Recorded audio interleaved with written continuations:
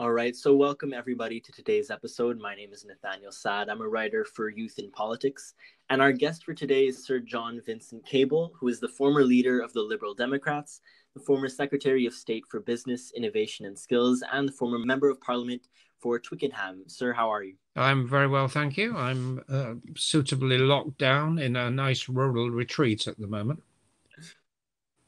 Yeah, that sounds uh, like a similar situation for us all, um, especially during these days. Um, and incidentally, it ties in directly with what our what we're going to be talking about today. So let's dive right in. Yeah.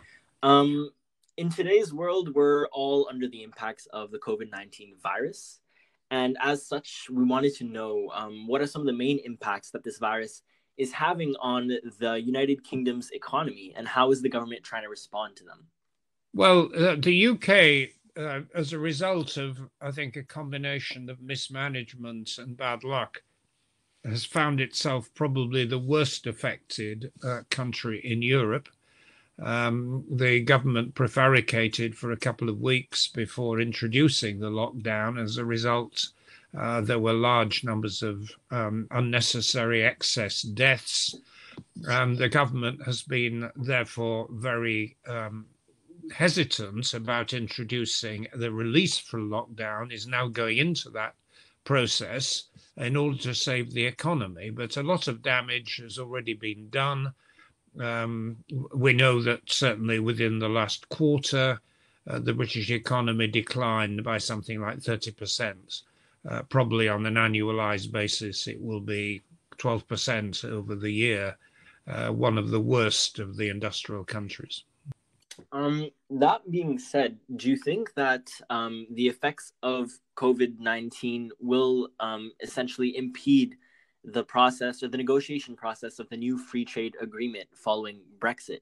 There are many um, that are falling ill, and policymakers themselves are focused on fighting the virus. So, do you believe that the transition period should be extended to accommodate with the difficulties? Well, absolutely essential. Uh, the problem is that the government is in serious political trouble. Um, it's widely held by the British public to have mismanaged the COVID uh, pandemic. Um, it has lost a lot of credibility as a result of the Prime Minister trying to defend one of his advisers who broke the lockdown rules. Uh, and as a result, is having to fall back on the support of its um, base and its base is um, for Brexit, if not very much else. So the government has to deliver uh, a Brexit uh, and this promised free trade agreement. The problem on the other side is that the European Union doesn't regard this as top priority. It's got other concerns um, with this massive economic depression and the stresses within the European Union. So the European heads of government are not directly engaged. Uh, trying to get 27 of them into the same place is not easy. Um, they're not meeting face to face. So they have quite good reasons for wanting to postpone uh, coming to a conclusion on the agreement. Uh, this doesn't suit the British government, which wants an early agreement to be able to demonstrate to its supporters that it has come out of Brexit properly. So we're now heading for a, um, a serious car crash. Uh, that there is unlikely to be an agreement within the next month. Um, if that happens, we're unlikely to get an agreement within the next uh, within this year because that was the timetable. And a lot of British industries are already beginning to say that on top of the COVID pandemic disaster, they're now faced with um, an exit from from the Brexit arrangements without a proper agreement in place. You may have heard that um, Nissan, the leading car company, said its position wasn't sustainable if that happened. Mm-hmm. Um, to further go into this point, um, if there is an extension or rather a delay in the whole Brexit process, do you think that this could roll over into the distribution or trade of a potential vaccine for the COVID 19 virus. Would this have any effect on that distribution? Well, the problem with getting a postponement, it, it has to be agreed by both sides. The European Union clearly wants a postponement. There are many people in the UK who want a postponement, but the government doesn't want a postponement. it would be a terrible loss of face uh, with its own Brexit supporters if it had to back down on the timetable. So we're we're in a very dangerous position at the moment where we, we may finish up crashing out at the end of the year without an agreement uh, because of the um, the political priorities of the British government. But certainly from the EU point of view, a postponement would be totally totally desirable and eminently sensible, and I happen to agree with them on this point. Alrighty, thank you. Um, moving on from the topic of Brexit, um, in terms of the industries in the United Kingdom that are suffering the most, um, do you think that there would be an easy recovery, uh, regardless of the Brexit situation? Do you think that the economy would be able to bounce back quickly after the pandemic is finished? The simple answer is no, uh, and that's despite the fact that the government has actually been pretty sensible on the response to the pandemic economically. It brought in a fairly generous scheme for paying the wages, uh, 80% of the wages of workers who hadn't got anything to do, but were still on the payroll of companies, a kind of wage subsidy. Uh, it also has provided an extensive loan facility for uh, companies that are struggling who, who, lack liquidity at the present time.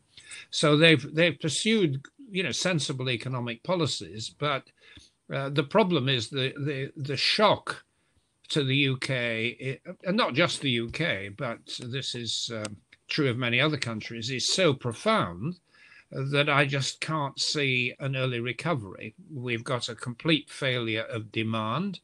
Uh, customers are um, not able to shop on the normal basis. They're uh, worrying about the future, reluctant to spend.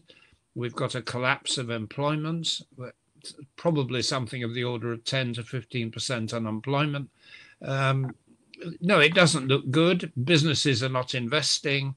Uh, and the rest of the world is also in recession. So Britain is is being dragged down with everything else. It's quite unlike 2008-9, where there was a coordination between the main economies, including China, uh, to keep the world economy going. Now we're all going into recession together. So no, the answer to your question is no. There isn't going to be um, a quick recovery. So just to follow up on that, as you mentioned, there was more cooperation in past years um, in terms of on the international scale. Do you see a specific reason for why that isn't necessarily happening now? And do you think that this would be a better solution to help the United Kingdom if there was more cooperation internationally? Uh, of course, and and actually, ten years ago, it was the British government which, uh, under Gordon Brown, which led the process of trying to get um, cooperation between the main countries. Why isn't this happening now? Well, several reasons. Uh, first of all, President Trump in the United States has no interest in global economic cooperation or any other kind of cooperation. Uh, the Chinese are getting into, uh, partly because of a reaction to Trump, getting into a very belligerent nationalistic uh, way of thinking also. Uh, so you're left with um, smaller um, countries, uh, you know, non middle-sized countries, Britain, Germany, France, um, which have got their separate quarrel about Brexit. Um, you know, Canada, Italy, uh, Japan. I'm sure they would like to cooperate, but without the United States and China, it's impossible to see how you could get an effective global response at the moment. Indeed. Um, and finally, just before we uh, wrap things up, there are many experts, such as uh, James Smith of ING Economics, who noted that scientists are predicting potential repeats of the outbreak of the virus even after the lockdown is lifted. Um, at the rate that the UK is going right now, do you think that the country would be prepared for a comeback of the virus in potentially a year or two? Uh, well, we're not prepared for it, and it would be disastrous if it happened. Uh, I, th- I, think I'll qualify that answer because we're bound to get some repeat. Um, the, the, lifting of the lockdown, lifting it quite rapidly, which is what's happening uh, in Britain and other countries, is bound to result in an increase in infections. Um, the question then is whether it takes us back to where we were before or whether we can live with a temporary, relatively small increase. Um, I suppose the worst outcome is we get a um, an L-shaped recovery. We just don't recover because uh, it isn't possible to get the economy going without triggering uh, re- uh, deepening pandemic. Uh, most economists, I think, now think that we're going to get a sort of W type recovery. We get some recovery taking place, then we get a, a setback because um, of an increase in uh, infections, uh, a slowdown, and then uh, another revival a, a, rather messy, phased, uh, interrupted recovery is probably the most plausible outcome. I don't think the government had any choice, or other governments had any choice, but to lift the lockdown. Uh, in Britain's case, uh, it may have come prematurely. I think in many other countries, it's it's been more carefully and properly phased. Certainly, France, uh, Germany, uh, Japan, I think in Canada, from what I've heard of it, um, they seem to be going about this in a more careful and sensible and measured way. Well, thank you, sir. Um, let's hope that the second step back is uh, is short and doesn't take too long. Um, and that concludes today's episode. So I'd like to thank you for taking the time to join us and discuss these issues. No, thank you. It's good to speak to you. Good to speak to you as well, sir. Alrighty. Thank you, everyone. Take care and stay Bye. safe.